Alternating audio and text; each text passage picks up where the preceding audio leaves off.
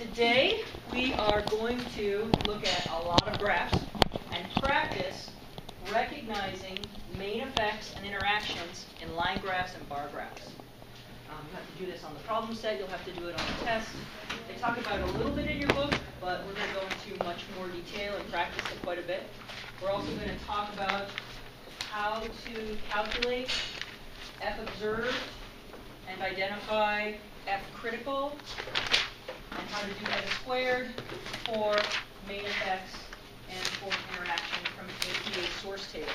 We're going to do that at the end of class today. Um, also, a little change in plans for next Tuesday at students' request.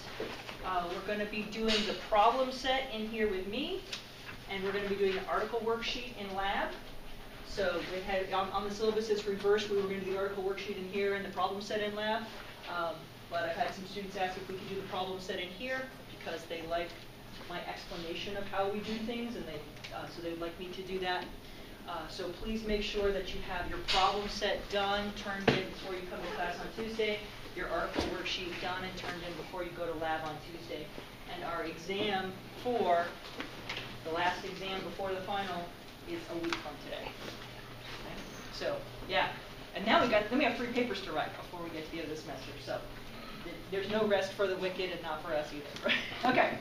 So make sure you've got a handout if you haven't got one um, because you don't want to, like that, yeah, exactly. Grab one of those um, because you don't want to draw all these graphs. We've got a lot of graphs to look at today.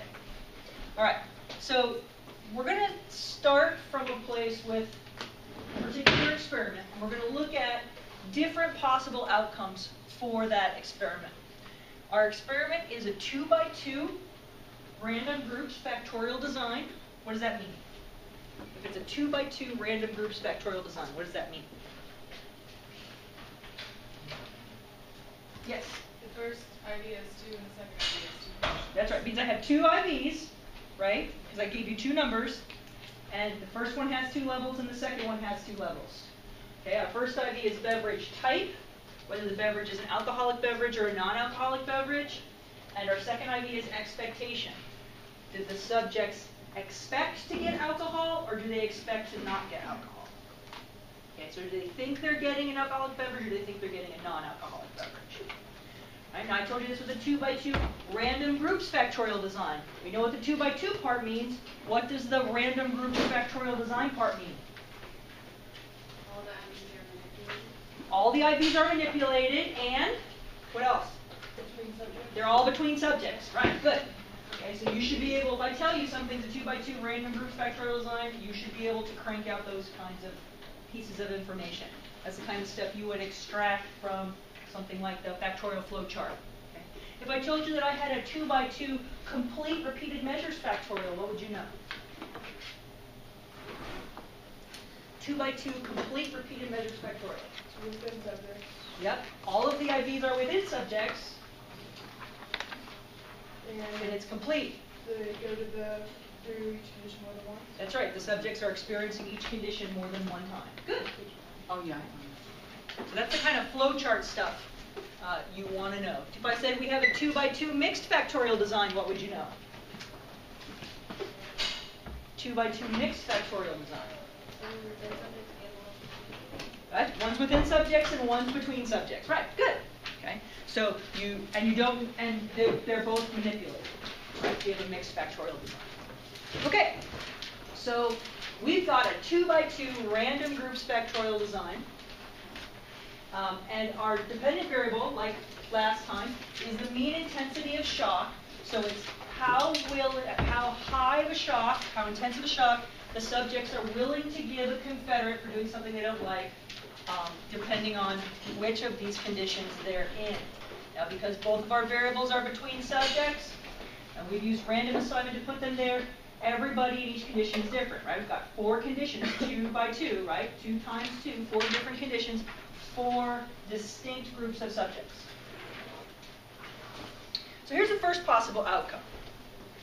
Now last time we talked about how you can tell, looking at a line graph, whether or not there's a likelihood that there's a main effect for the IV in the legend, how to tell if there's a main effect for the IV on the x-axis, and how to tell if there's an interaction between those two variables. So let's go through this graph and apply what we talked about last time. We said if there's an effect of the variable that's noted in the legend, we look to see what? What do I look for if I'm comparing in a line graph? I'm trying to tell if there's a main effect of, of the variable indicated in the legend. Look at the difference between the two. The difference between the two what? Uh, If they're parallel or if they're intersecting. Okay, if they're parallel or intersecting is whether or not we have an interaction. If there's a slope is whether or not we have an effect of the x-axis. So we're getting all the right things, we just gotta apply them to the right, right idea. Yeah, it's how, Far apart. there we go, yes, good, excellent. How far apart they are. It's, we just needed some interpretive dance. That's all right, interpretive dance for statistics, we can do that. All right, so how far apart are the lines? And here, are they very far apart? No, they're basically right up next to each other. They're right next to each other. I mean, there's a tiny bit of difference. Mostly that's so you can see that there are two lines, because if they were laying right on top of each other, you wouldn't be able to tell. So we, they're not very far apart. It looks like we do not have a main effect of expectation. In other words, it didn't make any difference whether people were, thought they were going to get alcohol or thought they were getting a non-alcoholic beverage. It didn't affect how, how much they shocked the Confederate at all. Okay, it didn't make any difference. Now we get down here to the x-axis. Now we care about. Can't look down your paper. You have to look at me because I'm pointing at you. Oh, now we care about what? sorry, That's the okay. now we care about The slope. The slope. That's right. Now, if the slope is zero, right? If it's a flat, the slope of the line's flat, then we're we think that there's probably no interaction. As the slope deviates from zero, could be going positive, could be going negative. As the slope deviates from zero, we are at increased likelihood of getting a main effect. Let's take a look at these lines. Does it look like we have a slope that's deviating from zero? No, these lines are looking way flat. And that means it doesn't matter whether people got an alcoholic beverage or a non-alcoholic beverage that didn't affect how much they shocked the Confederate. Everybody did it about the same. Around 45. 45, whatever we're measuring here. The intensity of the shock. Volts. Now, how do I tell if there's an interaction? If they're parallel or. That's right. So if they're parallel or to the extent that they're not parallel. So if, if they're parallel, I know what? Do I think there's an interaction or not? If they're parallel, no. To the extent that they begin to move towards each other or actually touch or cross, I'm getting a higher and higher chance of having an interaction. If we see an actual crossover, that intersection is, you know, big alarm bell should be going off. Really, really excellent chance that we're going to have an interaction. If they're moving towards each other, the extent to which they do so and actually get close enough to touch um, increases our likelihood of an interaction. So, are these lines looking like they're going to touch anywhere? No. These are very chaste, well-behaved lines. They're not going to touch each other. They're just going to lay there next to each other on the graph and do nothing. What does how far apart they are tell us? How far apart they are tells us whether or not we have an effect of the IV in the legend. You can see here that the line for expecting alcohol and the line for not expecting alcohol are basically exact. They're like almost right on top of each other. So it means that it didn't matter which one of those conditions the subjects were in, it didn't change their behavior. All right, so that's the line graph. Here's the exact same data, okay? No interaction, no main effects, just like the last graph. But here it is now presented in a bar graph. You might get line graphs, you might get bar graphs in your paper. You need to be able to interpret graphs of both types. So here we've got no main effects, no interaction. Let's see what characteristics we need to pay attention to to be able to recognize this. Let's start up here, like we did last time, with the IV and the legend. If you look at that legend, you'll see that what we're comparing are black boxes and white boxes. See that? Up in the legend, there's black boxes and white boxes. Those are my options. The black boxes are expecting alcohol, the white boxes are not expecting alcohol. So what we want to do is compare those. So what I want to do is I'm going to take a look at this graph, and I want to say, okay, let me look at those black boxes and think about what would happen if I averaged them together and got one grand average black box. It would be the same, like they're the same height, right? So it would be this big. What would happen if I took these white boxes and averaged them together? I'd get a box this big, right? Now, if I compare those, do they look like they're really different in size? The black box and the white box? My grand average mental boxes? No, they're basically exactly the same. Black box is a little tiny bit bigger than the white box, but not very much. And on your paper, even less, like a pencil width. Maybe even a pencil lead width. They're not very different. And that's telling us there's no main effect here. If I think about what's happening on the x-axis, the variable on the x-axis, I'm comparing now the bars on the left to the bars on the right. The bars for the not alcoholic group, imagine that I averaged those together and got some gray bar of non-alcoholicness. Okay. And I compare that to a merged gray bar of alcoholicness. So if I took the average of the non-alcoholic bars and I compared it to the average for the alcoholic bars, you think it would be very different? They would probably be exactly the same. So no difference, no main effect. Now when it comes to interactions in a bar graph, we look for a combination of things. Because interactions are about combinations. What we're looking for, called the two Ds. Difference and direction.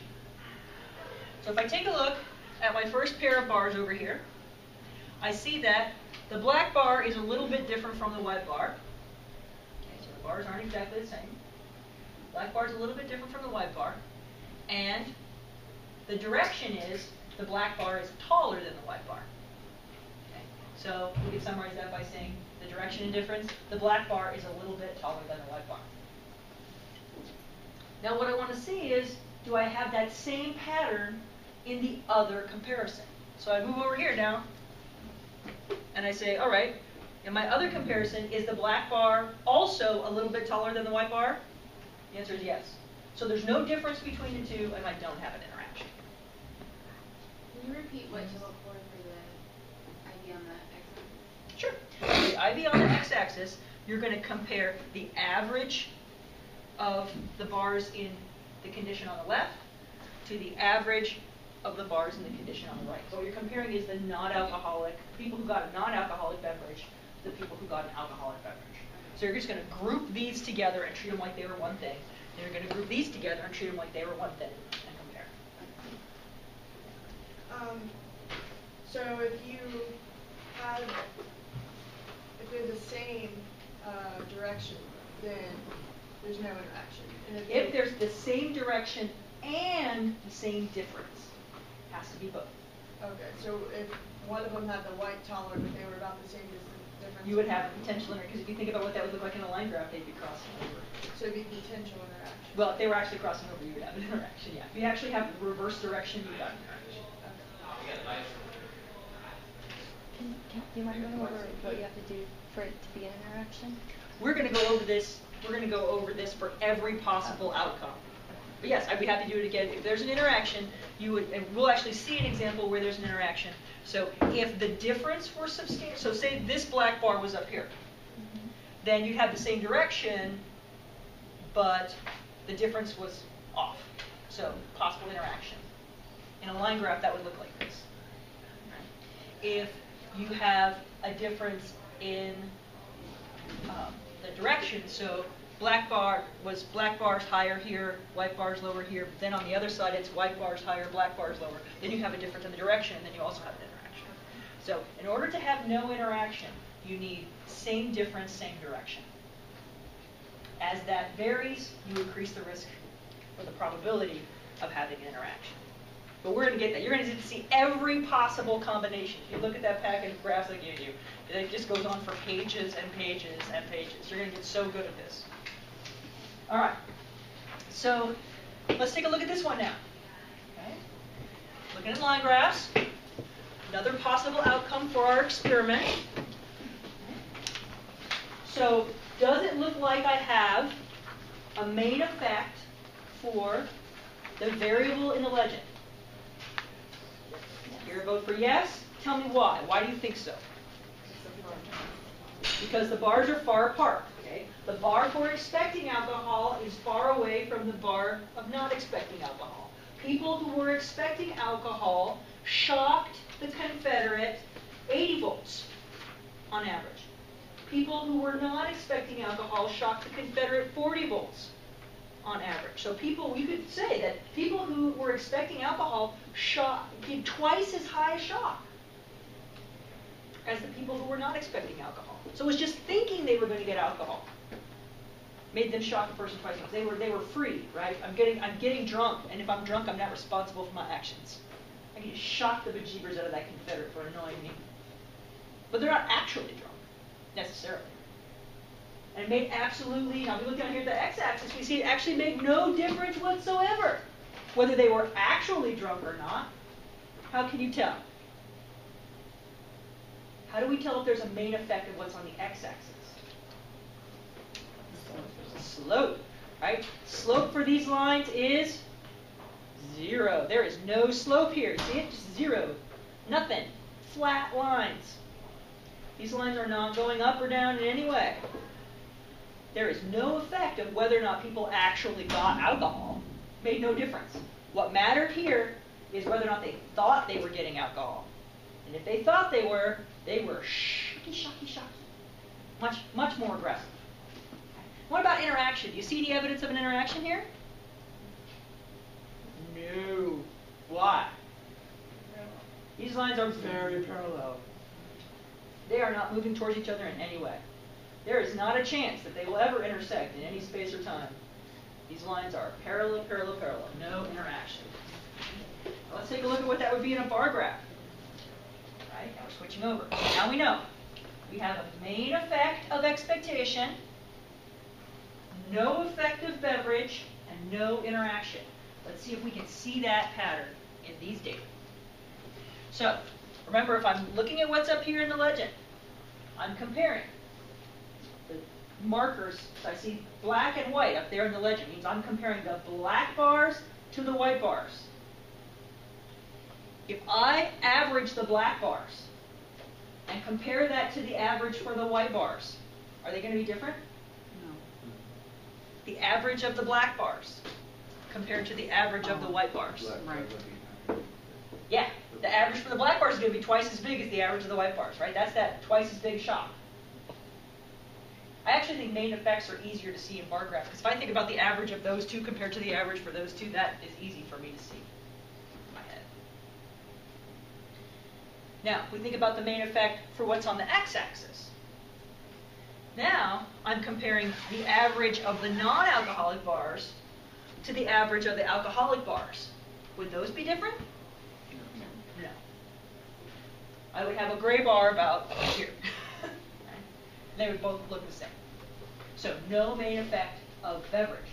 But we did get a main effect of expectation. People who thought they were getting alcohol in both cases shocked twice as much as people who didn't think they were getting alcohol. And we see no interaction because, remember, we're doing difference in direction.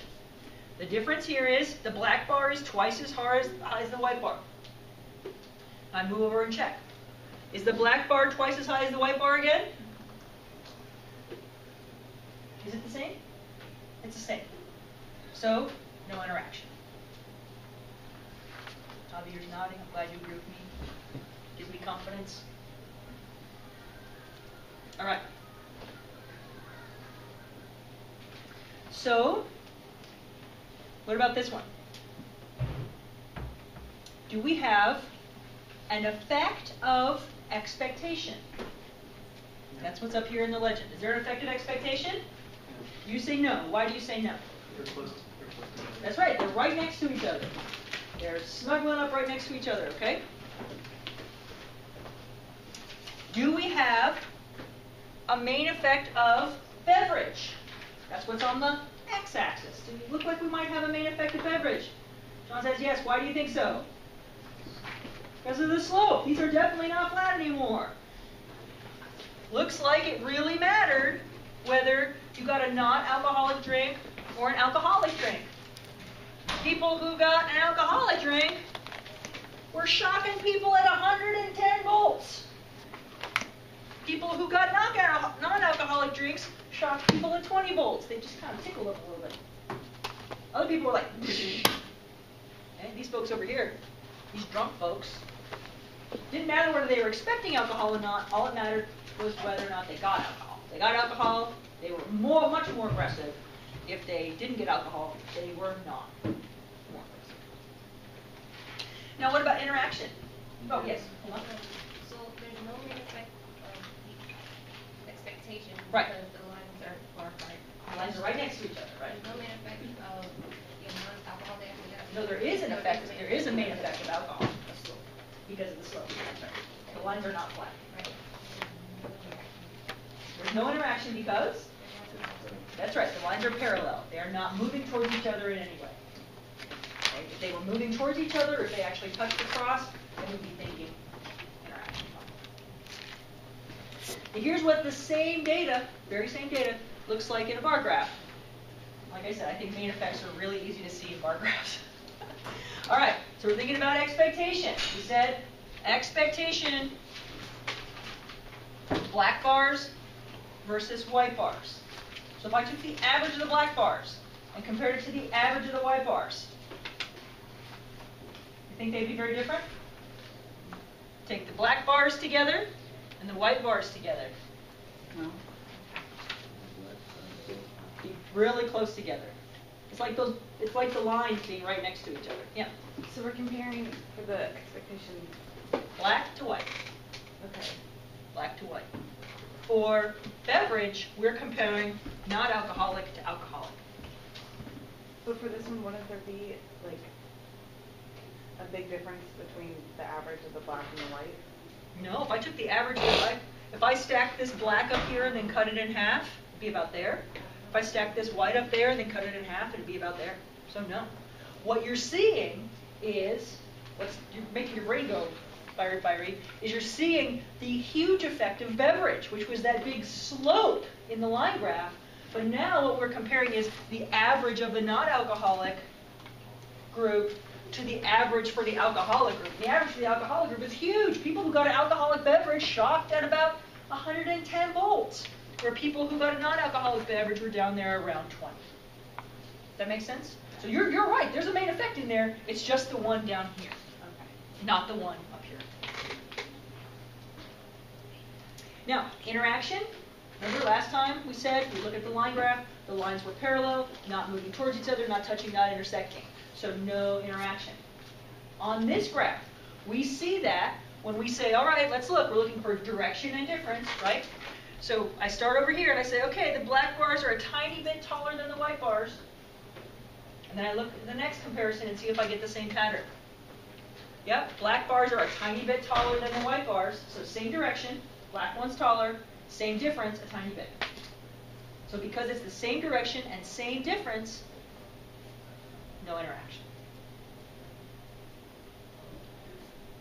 Does that make sense? Okay? If people are very visual, this is people like this if they're very visual people. We're going to go the same pattern over and over. All right. Here's another one. Do I have a possible main effect of expectation? People say yes. Why? No, I mean, it's. It's like, I know it's one of those. It's the slope or the separation, but I can't remember which one. So if it's in the legend, we're interested in the separation of the lines. The further apart the lines are, the more likely we have a main effect of that variable. That's because one of these lines represents one of those conditions, and the other line represents the other condition. So if the lines are far apart, it means that the behavior in those two conditions was very different.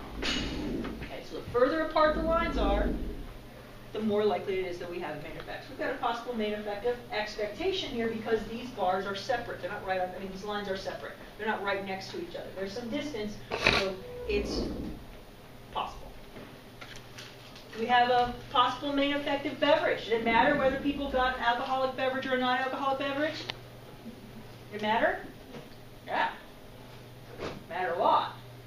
And we can tell that because the slope is a very steep slope, right? Down here, people who didn't get an alcoholic beverage, whew, shot up. You have people up here who got an alcoholic beverage.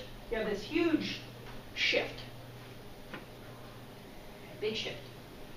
People who got alcoholic beverages shocked at a much higher rate. Is there an interaction? No. How do you know? They're parallel. Yep. They are not moving towards each other. They do not touch. They do not intersect. We do not have interaction. Okay, so we've got two main effects, no interaction. There's a main effect of expectation, such that people who were expecting alcohol administered a higher intensity shock than people who weren't expecting alcohol. We've got a main effect of beverage, such that people who got an alcoholic beverage administered a higher intensity of shock than people who got a non-alcoholic beverage, but there's no interaction.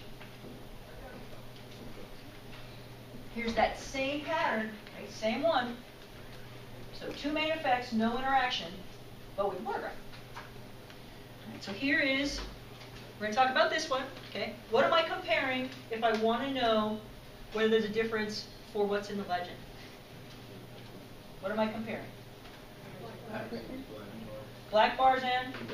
And the white bars. So I'm going to take the average of the black bars and compare it to the average of the white bars. So if you want to do that in your head, you can think about taking this bar and stacking it on top and cutting it in half. Take this bar, stack it on top, and cut it in half. You think the black bar is going to be, the black average is going to be higher than the white average? Yes. Yes. That's your main effect of expectation.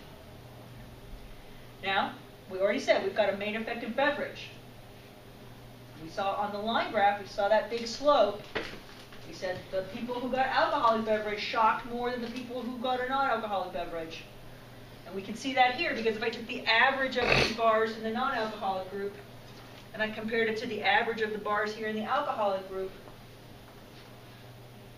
the one on the alcoholic group, much bigger, right?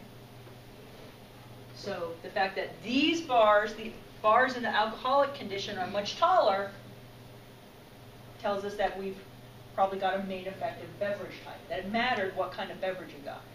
People who got an alcoholic beverage were shocking shocking.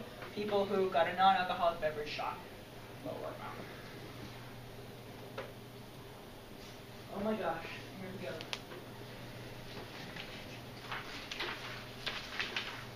What's different about this one? What do we have for the first time? Interaction, possible interaction. Why do you know that? They're what? They're not parallel anymore. They're moving towards each other. They don't actually cross over. They don't actually touch, but they are definitely not parallel. They are moving towards each other.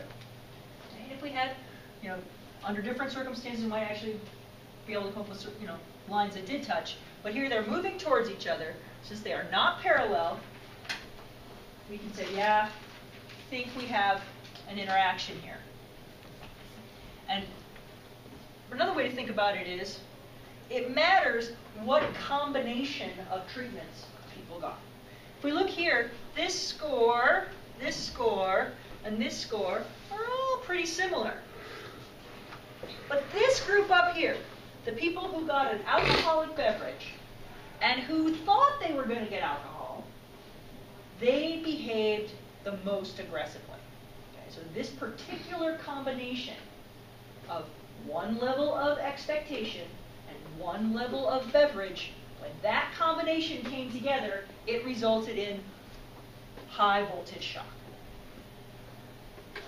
That's the interaction. We have an interaction of expectation and beverage such that participants who got an alcoholic beverage and were expecting it to be alcoholic administered significantly more intense shock than any of the other groups.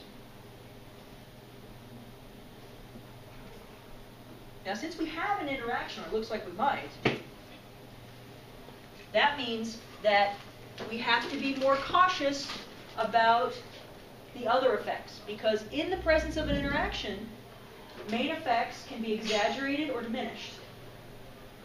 Interactions, because you've got two variables influencing each other, two or more, influencing each other, it's possible that you're seeing something for a single factor that wouldn't show up if that was just there by itself.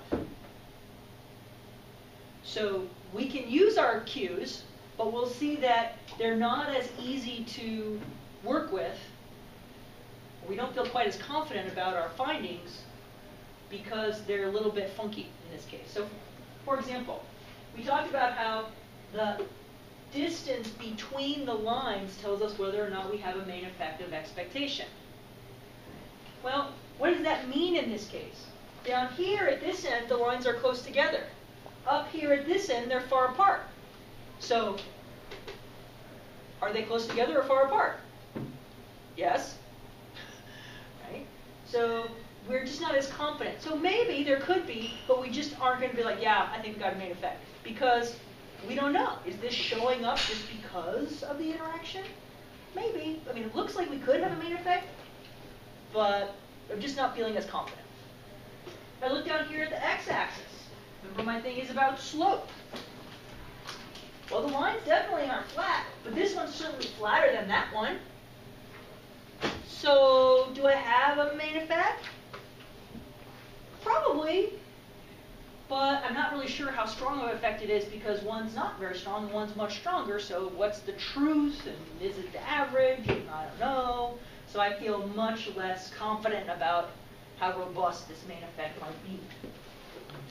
I think this is actually, to see main effects is a little bit easier in bar graph form, as I said. We take a look here, we use our cues in the bar graph, the main effects actually seem a little bit clearer. So I'm doing a main effect of this variable up here in the legend. I'm comparing black bars to white bars. So if I ask you if I do the average of the black bars compared to the average of the white bars, do you think it's going to be different? Mm-hmm. Yeah, I think so. And if I look at beverage, and I'm comparing the average of the non-alcoholic bars to the average of the alcoholic bars, you think it's going to be different? Yeah, this one's going to be bigger. So that's great and everything, but we also have to think about whether or not there's an interaction. And the interaction in the bar graph shows up here. Remember, we're thinking about difference and direction. Okay? So I start off over here with my first comparison. Black is a little bit taller than white. Okay? Black's a little bit taller than white. But as I come over here, is it true? Do I get the same pattern? Well, I've got the same direction. Black is still taller than white, but it's not a little bit taller, it's a lot taller. So because I don't have the same difference, I have a much bigger difference here, that tells me I've got an interaction. If the difference or the direction is not the same, pattern's not the same, then you've got an interaction. Yeah. Um, for the x-axis. Wait, hold on. Oh, Wait, sorry, that's sorry. okay. Um, yeah. On the exam, are we gonna get like both the bar graph and the line graph? Or if we got the line graph that's similar to the one that we just looked at, do we have to explain why we're not confident and why? Yes. So you need to be able to, I could put any of these graphs on the test and ask you, I'll say, so does this graph show a possible main effect? How confident are you? Why? Um, or does this show an interaction? I could also say, here are some graphs. Show me the one that has a main effect of IV1 in the legend and interaction, but doesn't have a main effect of the IV on the x-axis. So you need to be able to identify the possibility of the different effects from the graph. You should be able to match the effects to a graph or read the graph and tell me what you see.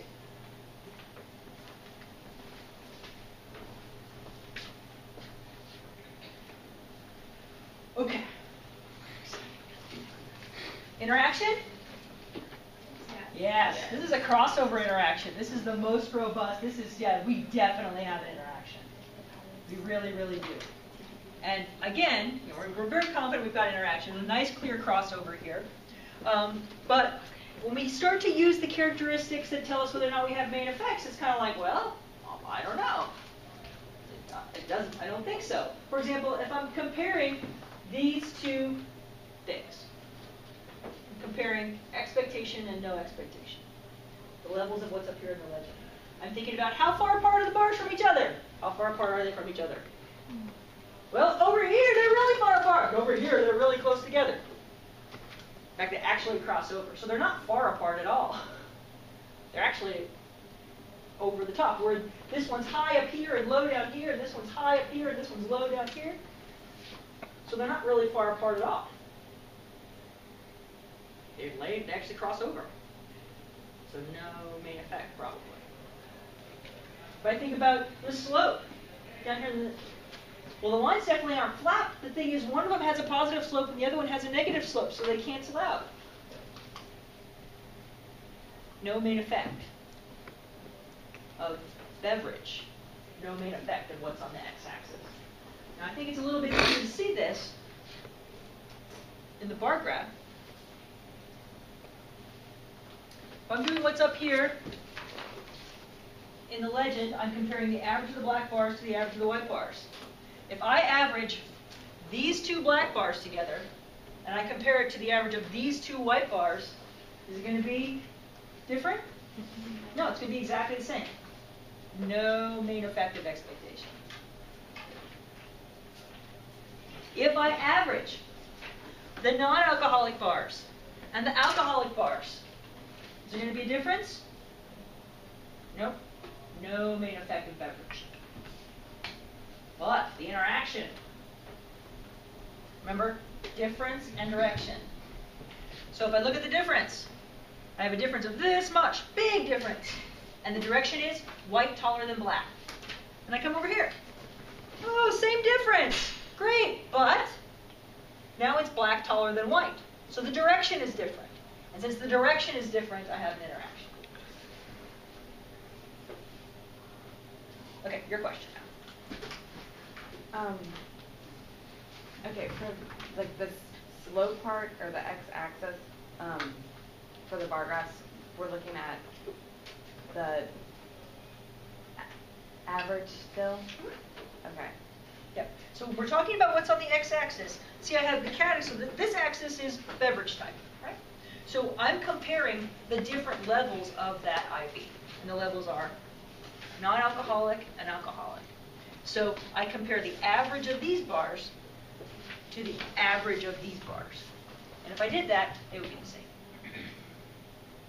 I thought that's what you did for main effect, and then after that, you just look at the x-axis or That, the same? no, no, that's fine. That's that's what I'm talking about. I am talking about the main effect. Okay. But the interaction part is that I look at the difference and the direction of this comparison, and it's a big difference with white taller than black. And then over here, I still get that same big difference, but now it's black taller than white, so the direction is different, and that tells me there's an interaction. Okay. That's the bar chart equivalent of the big crossover effect. Yeah. So there's no effect in the expecting alcohol or not because the amount of white and the amount of black is the same, though they're different. It doesn't matter, just because you're mushing them together. So it'd be if like there was a bunch of black and this much white on the whole thing, and that would be. Yeah. Exactly right. Okay. Now let's say we switch it up a little bit. Getting crazy now. We're going to add another level of alcohol. So it's not just whether you're drunk or not, but we're going to go with legal definitions now. Imagine that we looked at blood alcohol content. We have people who are sober, people who are impaired, so their blood alcohol content is 0.05, and then we have people who are legally intoxicated. They are drunk. Okay, at 1.0. Okay. So, still expecting or not expecting alcohol. How does this change what we do? Well, if we're just talking main effects, not much. Do you see the main effect of expectation?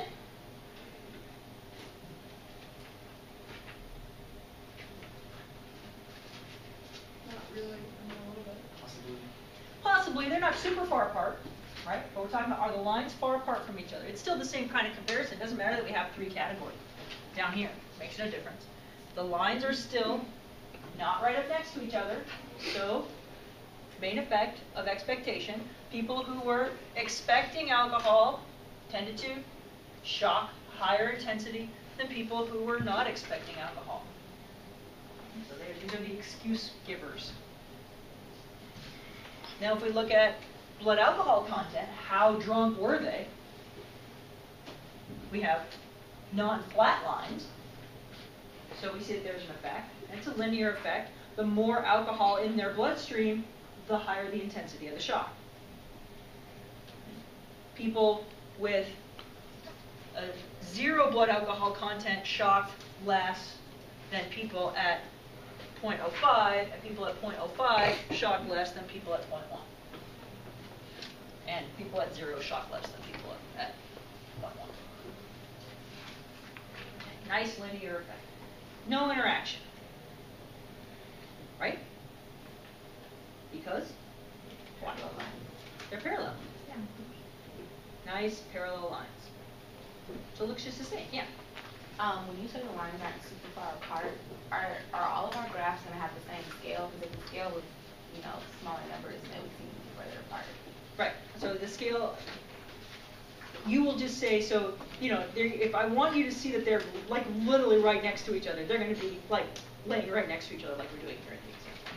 If, if you see, you know, if there's a clear width of 10, 20, 30 in between, like this, then you could go, yeah, there's a possible. I mean, we're not doing any math, you don't know for sure if there's a main effect or not. Right, so it depends on sample size. I just want you to say that there's a possible main effect. Okay. And if they're right next to each other, there's not a possible main effect. So don't really worry about the scale then? Okay.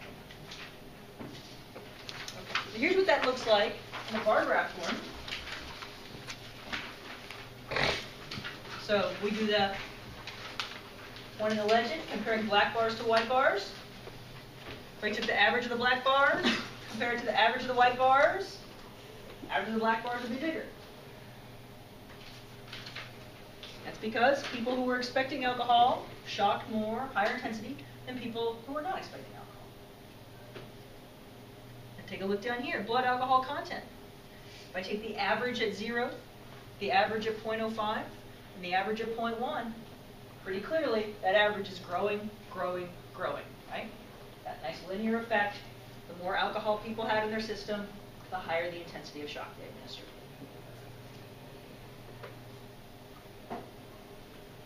Interaction? No. My difference is about this much, about hand width, a little bit of wrist for me. Maybe eraser length on your pencil for you. Okay. That length. And black is taller than white. Okay, let's look at the next comparison. Same distance, and black is taller than white. Okay, still no interaction. Same difference, and same direction. So, the black bar is always taller than the white bar right next to it, and it's taller by the same amount, so no interaction.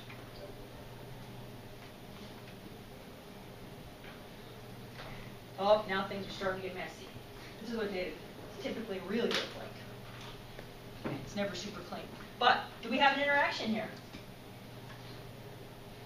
Most likely, Probably, oh, yeah. How do you know?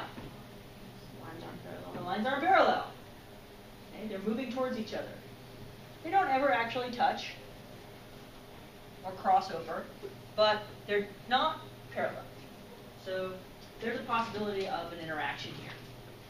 Do we have an effective expectation? Does it matter whether people were expecting alcohol or not? Maybe. I mean, we do see the lines aren't right next to each other. They're closer here and further apart up here, and kind of middle distance there. So they aren't right next to each other, but it does seem to kind of depend on which other which blood alcohol content we're talking about, right? That's the interaction, right? So it looks like there's there could be a main effect, but we have to keep in mind because we have an interaction, that main effect could represent a distortion. Okay. But it seems likely. And now what about blood alcohol content? Does it look like it mattered whether people had no alcohol in their bloodstream, were mildly intoxicated, or legally drunk? Yes. Yes. Why do you think so? Lines have slope. The lines have a slope that's not zero, right? They're sloping up. This one's kind of close to flat, but this one's definitely not. So, looks like, yeah, probably, but again, in the presence of the interaction, we want to be a little cautious.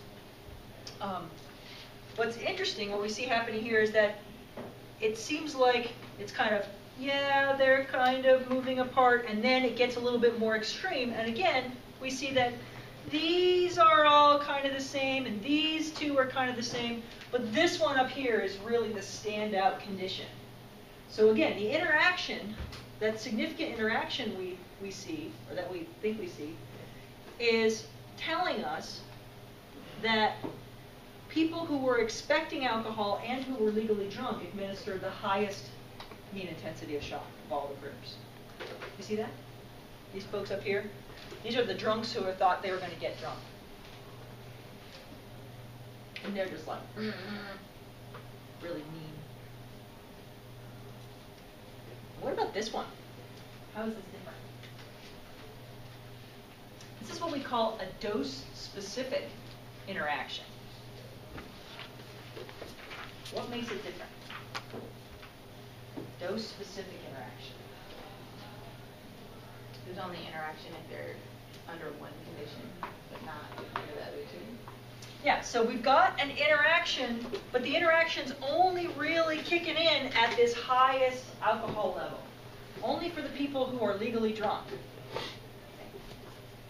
These two, I mean, we see these lines are definitely not parallel, okay? But down here at the lower blood alcohol level, they are. So the interaction emerges at a specific dosage, which is the highest dosage. Why we call it a dose-specific effect or a dose-specific interaction. We see the interaction, but only at a particular dose. There's no interaction at the lower dosage, and there's definitely an interaction at the higher dosage. Down here, the lines are pretty close, they're closer to flat, they're a little bit sloped, so we might have a main effect. But here, definitely we've got some more slope. So here the interaction is really exaggerating the difference that we certainly don't see down here. And the lines are pretty close together down here at the lower dosages, but they get really far apart up here, potentially exaggerating the main effect of that. So we see that dose-specific effect. We're really interested in the interaction. It's very compelling to us, and it really seems to matter getting that combination. When you get that combination of expectation of alcohol and high blood alcohol content, people just get mean. Mean, mean people. Shocking. Poor innocent Confederates. Well, not really, but they think they are. Okay. Here's what that would look like in a bar graph. So we think about the interaction. We see that dose-specific effect here. Here we have black a little bit taller than white. Here we have black a little bit taller than white. So same pattern, no interaction. And then all of a sudden when we get to this third comparison, black's not a little bit taller than white, it's a lot taller than white. So we've seen that interaction burst out there at the end. We have a dose-specific interaction. We can see that because the difference only occurred, only shifts there in that one final blood alcohol content condition. Now, if we think about the main effects, we'll be talking about averaging the black bars and comparing it to the average of the white bars. That would look like we have a main effect. We talk about blood alcohol content main effect, it would be averaging the 0 bars compared to averaging the 0.05 bars compared to averaging the 0.1 bars. It would look like we have an effect. But because of that interaction, again, we're like, well, maybe, but it could just be that the interaction is making those things kind of pop for us. So it could be, but I'm really interested in the interaction because that's what's compelling about this. People who think they're going to get drunk and who get drunk are mean. Meaner than people who experience other combinations of factors. All right. So now we're going to move on to something else, but I want to ask first, is everybody okay with those parameters? You understand what you need to do, what you need to compare to figure out main effects and interactions for line graphs and bar graphs. Feel like you got that? You're going to do it on the problem set. You're going to do it on the test. Now I want to talk about math. So we're going to figure out some formula stuff. I'm going to present a new experiment just because I'm tired of talking about expectation and alcohol. Um, just some, uh, this is a, a real phenomenon uh, that I wanted to show you a graph for and some data for. Um, and what we're manipulating here, again, we've got now a 3 by 2 random groups factorial. So six different conditions. And what we're manipulating is people's level of arousal. This isn't sexual arousal. This is more like how uh, hyped up they are. So they could be like totally flying on caffeine. Like so, these people don't have any caffeine in their bloodstream. These people have a moderate amount. These people have just they've just done like three, four hour energies. I know, slam, slam. They're like, I need 12 hours of energy. Let's go. And, but have you, have you ever had too much caffeine? What happens when you've had too much? Come yes, like last week. what? We're taking your class. Of course we've had too much caffeine. It happens all the dang time, doctors I know. All right, so what happens when you had too much caffeine?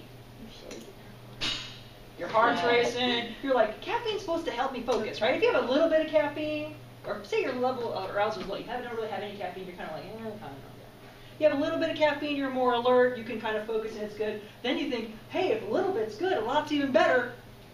And then you can't do anything, right? Then you're like, okay, that was a really bad idea. Too much of a good thing, right? So that's kind of what happens with arousal. We, I mean, that is arousal. When we get too amped, it actually makes it hard for us to do what we need to do. We need to be moderately amped to do what we need to do, and not too low. Uh, not, we don't want our arousal to be so low that we kind of just don't care whatever, fall asleep. Need to kind of moderately amped, not super amped or under amped. Okay? And it actually interacts with how hard the task is that we're doing. In other words, how our arousal affects us depends on whether we're doing something that is really easy for us or something that's really hard for us. So here's what happens. Okay. Look, we've got a dose-specific effect here. See it? Now, what we've got going on here is this line up here. People's performance, how well they do when they've got an easy task. So if you're doing something that's really easy for you, like putting on your clothes, you're pretty good at putting on clothes. Right? You've been doing it for a long time. Hopefully you're, you're a self-dresser. And so if you're kind of sleepy, you might be really slow about it. But the more awake you are, the faster you can do it. And if you're in a hurry, like you know, I gotta get out of here. I've got five minutes to get to class. You're like zip, zip, zip, zip, done. And you're all dressed and everything, and it all works, and you're very right. something easy. But if you're doing something that's really cognitively challenging to you, or physically challenging, then at a low level, your performance is not very good because it's really hard for you. And you're not very amped up, you're not very tuned in, so you're not going to be very good at it. At a moderate level of amplitude, you actually improve, you get better. So being more alert, more tuned in, more focused actually helps you do something that's hard for you. Makes sense. You're doing something that's a little bit hard, you have to focus, so it helps you. But if you get too amped up, things that are hard for you, you're so amped up you can't focus on all the details of all the complex stuff you have to do, and you end up crashing. So there's an interaction in that easy problems actually, you get better at doing them the more amped you are, but hard problems you get worse. Now, this is why you want to practice stuff, because you want it to be easy for you, not hard because it means the more amped you get, the better you get, as opposed to if you're not very good at something, the more amped you get, you crash. This is why I tell you, do your practice problems. Because you want them to be easy when you come to the test and you're amped up because you did, just did two Red Bulls before you got to the exam. Not hard. and then you're like, I don't even have a note card. You don't want to go there. I can't read my note card. I don't even know what these symbols mean anymore. So let's take a look. This now should look a little bit familiar. This is an APA source table, APA style source table for the data you just saw. And so you know what the graph looks like. It looks like we've got an interaction. We may have main effects of task difficulty and level of arousal too. So you saw that graph. Now we've got things like sum of squares, degrees of freedom, mean square. You've seen these all before. Just to make sure everyone's oriented to this chart, can you tell me what the sum of squares for level of arousal is?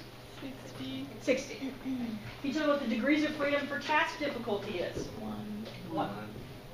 What is the mean square for the interaction of arousal times difficulty? 30. Um, so what's my sum of squares total?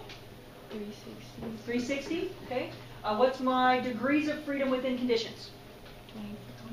24. Okay, so everybody knows how to get their way around that chart. I see people, they're like going, oh gosh, it's going to get scary now. No, it's actually good. You're going to um, you're going to impress yourself now. I'm going to show you how really incredibly smart you are right now. Right now, you guys remember. You remember independent ANOVA, right? It was just last week. it's not gone yet, right? All right. Now, when we calculate F observed for independent groups ANOVA, what formula do we use? F observed for independent groups. Oh, you can totally do this. you can do this. Mean square between Conditions conditions over- within over mean square yeah, within conditions, right? Independent groups, right? That's the easy one. You didn't do it. We don't do error.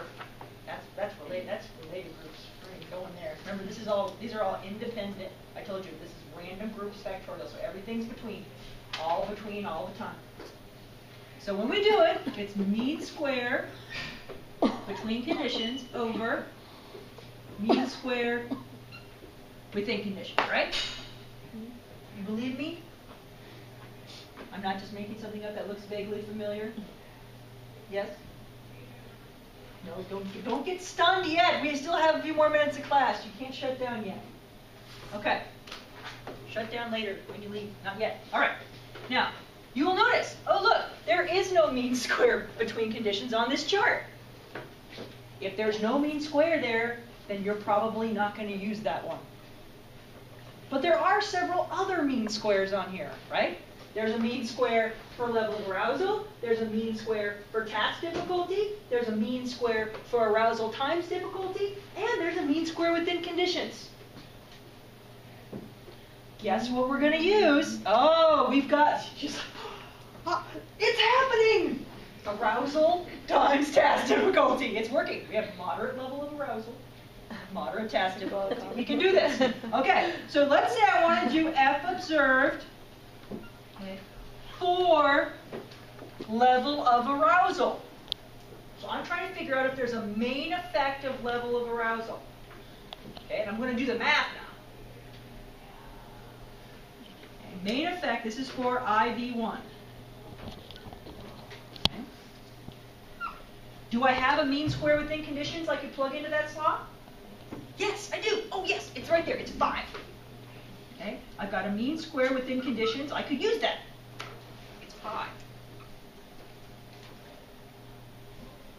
I don't have a mean square between conditions, but I do have a mean square for level of arousal, right? So I actually have a mean square for IV1. It's right there, 30. So if I take 30 and divide it by 5, what do I get? Okay, soon to graduate from college seniors. I take 30 and I divide it by 5 and I get? Six. 6! All right, excellent. You guys are so terrified that you might actually get this. You just calculated F observed for the main effect. It's 6. You need a calculator or a pen. All right. Now, you've got F observed, but you need F critical to compare it to.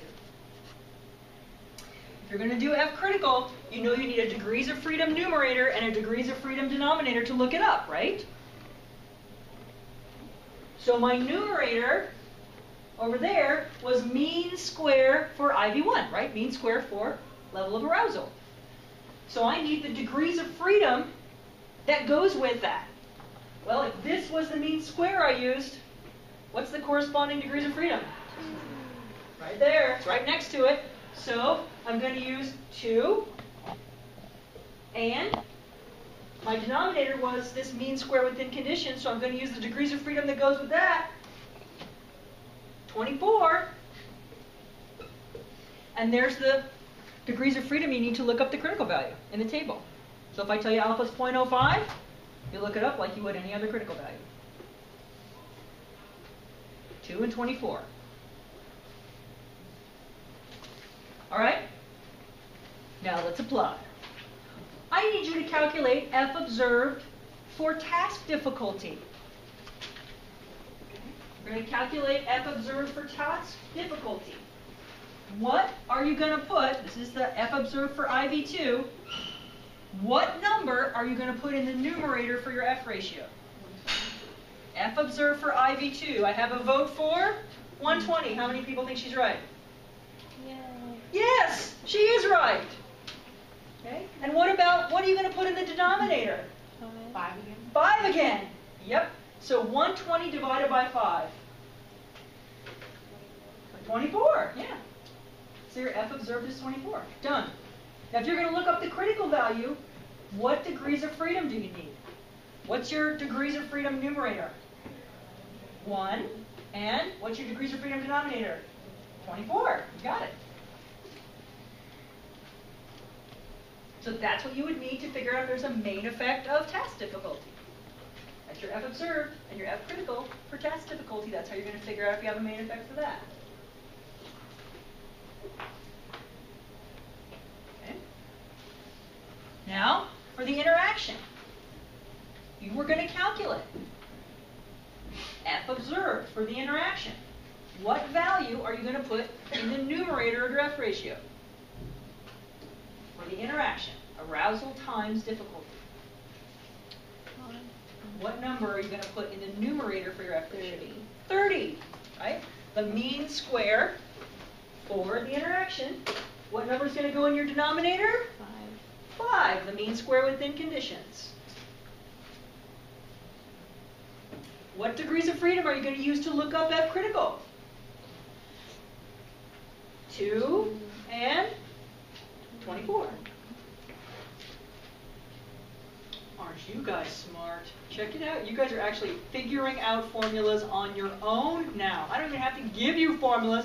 You can figure them out based on what you already know. Because you're smart. But in case you need help, in case you want to remember, you'll notice in your packet that, in fact, there's some hints about what you need to do. How to get main effects. And how to get interactions. So the formulas are listed there in your packet. And know how to do that. Now, before you get all crazy and run out of here, because we still have one more thing. We're going to kick it up one more time. Let's see if we're still at that moderate level of arousal or if your brains have melted. We don't have any information yet about eta squared. It's not there in your packet. But let's see if we can figure it out. For independent group ANOVA, to calculate eta squared, for it, okay, just for one factor. The formula was sum of squares between conditions over sum of squares between conditions plus sum of squares within conditions. Right? Yes, we vaguely remember that. It looks somewhat familiar. We'll trust you on this. Okay? So, given that information and given what we've already done, if you had to guess, make an informed guess, not just a pulling this out of your ear guess, but like an informed guess, because you were informed.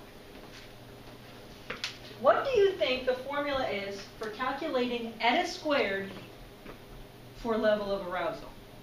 What would you use? Sum of squares for for IV1 over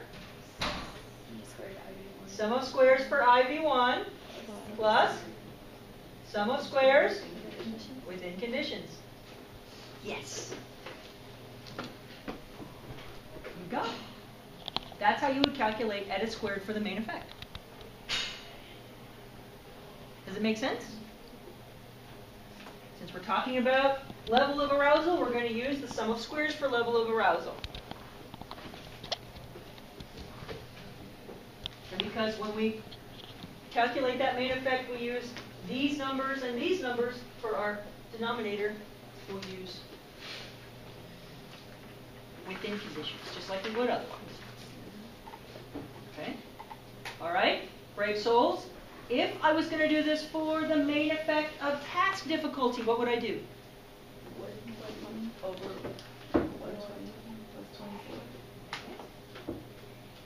So I would do, if I was doing eta squared for the main effect of task difficulty, it would be 120 over 120 plus? Oh, 120. 120.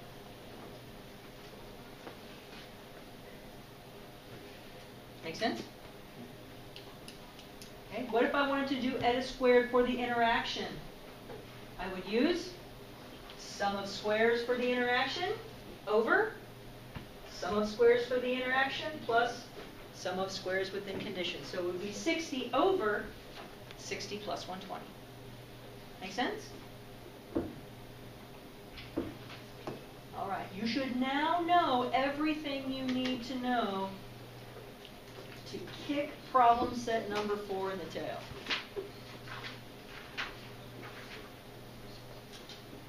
Go. You can do it. If you have questions, let me know.